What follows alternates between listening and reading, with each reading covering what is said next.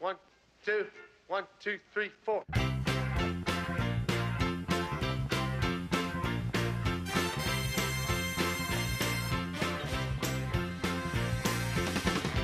We're so glad to see so many of you lovely people here tonight.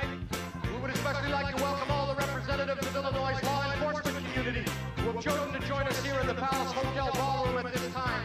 We certainly hope you all